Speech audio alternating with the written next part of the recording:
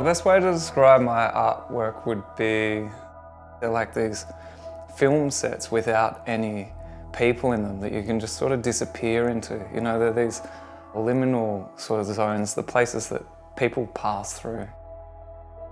When I walk through them, I get this narrative that hits me. It's like when you hear a song, it just grips you and you want to hear it again. I'm really looking forward to meeting possible new people who are interested in my art. I think you know that's that's one of the nicest things about you know being at an art fair is that you meet the people who are genuinely passionate about your work and making those connections is also nice for them. Making my art, I couldn't think of doing anything else.